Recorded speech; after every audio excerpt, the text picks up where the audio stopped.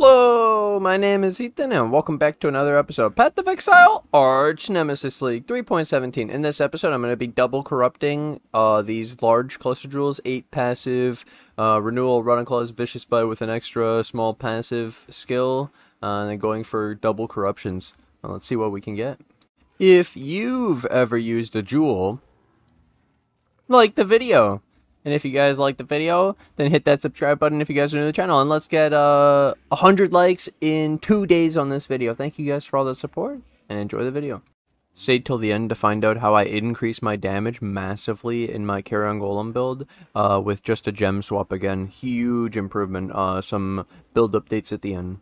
At time of recording, these uh, jewels with the renewal Rotting Claws Vicious Bite uh, was 11 to 12x, and the double corruptions were like 1.7, 1.8x.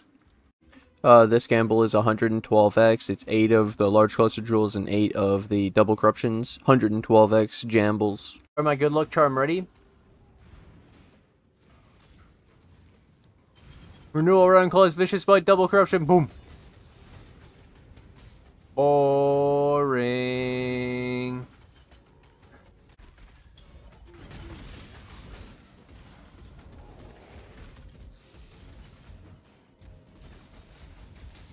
You guys ready? You guys ready? Boom! And it's gone. Uh, Damn. Uh, here we go, here we go, here we go. Boom! And it's gone. Uh, here we go. Let's go again. Boom! Nope. This is the one. I can feel it. Ready? What are we gonna get? 2%. It's gone. Final one. Boom! And nothing happened. Boring. Here we go, here we go, here we go. Totem placement speed. Oh! Avoid stun?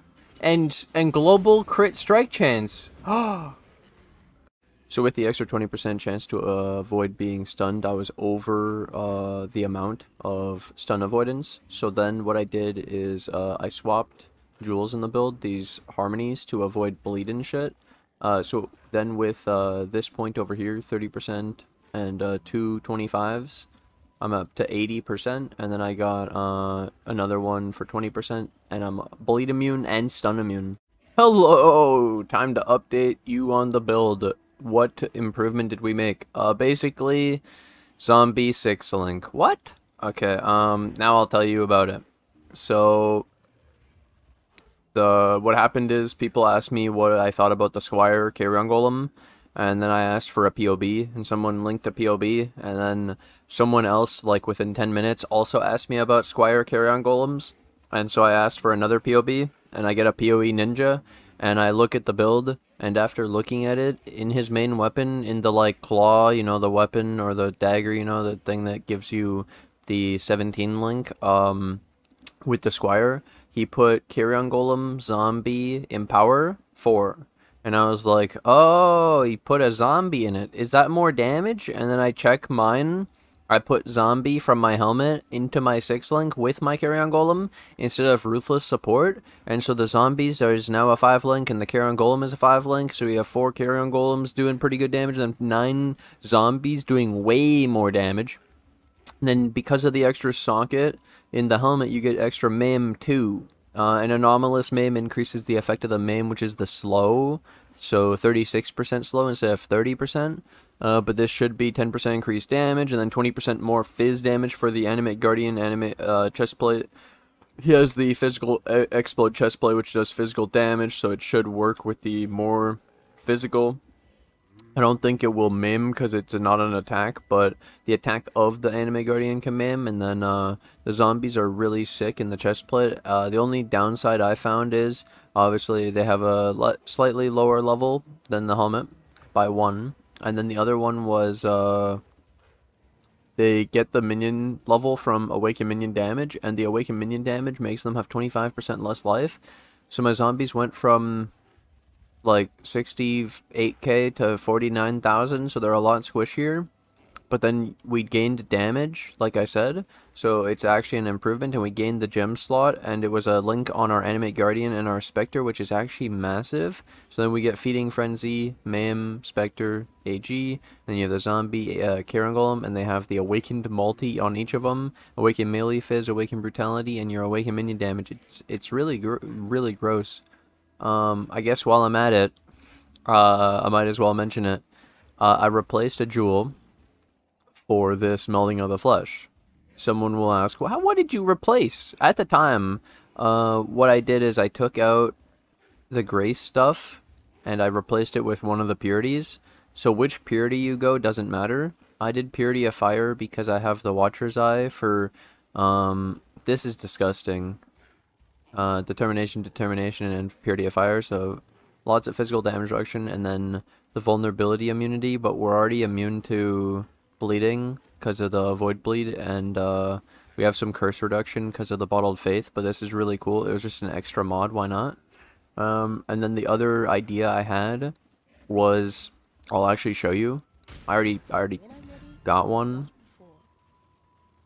And um give me a second here. So where'd I put it? Here. And it was a mega Megalomaniac. This is worth it, I promise. Okay, look at this. I was able to get... Alright, this is my secret tip. So I figured out with the uh, melding flesh. So the way this works is it gives you a big fat negative res and you have to make up the difference. So what I did is I switched um, increased evasion to additional elemental res during flask. This covers the res and then... Um, the what this does is by raising one of my max reses with Purity of Fire, all of them get raised. 84s. Um, so then the idea here is uh, I got a Megalomaniac. And it's max fire, which would give me all ele res, 86, and then uh, life, and I have Rotting Claws. Uh, and so I could get 100% Impale without the Dread Banner it, it's really cool. Uh, I, am not going to do that, but it, it was really cool that this is a possibility and that you can actually do more options of max fire or lightning or cold or whatever. And another thing is then the boots and the gloves and the helmet. The Searing Exarch is actually uh, possibly max uh, elemental res. So you could change the minion damage or the minion life to a max LE res with a different purity. Purity of fire, um, the max fire res is the boot and Searing Exarch is brittle ground, so you don't want to overlap your brittle ground. So we, it's kind of bad in this uh, one. I can't actually raise it through my through my glove implicits, but you normally would be able to with the new influence uh, if you didn't do Purity of Fire, yeah, and want brittle ground. Then the main idea is uh, you're taking, so instead of 24% elemental damage, you're only taking 16%. Um, and so it's like massive elemental damage reduction, and uh, it, it, makes a huge difference. Instead of having evasion, which only um, mitigates the like the number of attacks that hits you. It doesn't actually mitigate how much an attack does to you. It's just how many hit you. And so this is actually mitigation of all elemental damage, which is really sick.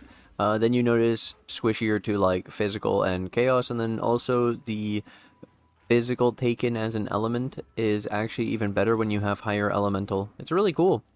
Uh, really sick. So finally got my last corruption on my jewel, got my 100% stun. I already had the 100% stun avoidance, but now this allows me to fit in the 100% bleed avoidance too, so we're bleed immune with this. And then I didn't need the extra reservation for the mana. We still have an extra 55. We're good on that. We have the 84 max reses through the melding of the flesh over the grace, and then we also have the extra uh, zombie in the six link instead of the ruthless. Like so many changes. Uh, it's crazy that we're this point in the season and I still make this many changes to this build. Uh, thank you guys for watching. Thanks for hanging out. My final thing I'm gonna end on is look at this playtime. Goddamn. Uh, thank you guys so much for uh, watching. And uh, yeah, if you guys have ever used a jewel, hit that like button and let's get 100 likes in two days on this video. And I'll see you guys in the next episode. Bye!